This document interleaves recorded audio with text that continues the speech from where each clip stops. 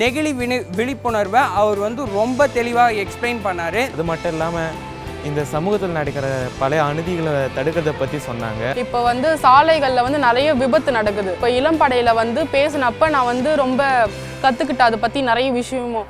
புதிய யுகத்தின் இளம்படை ஞாயிறு மதியம் பனிரெண்டு மணிக்கு.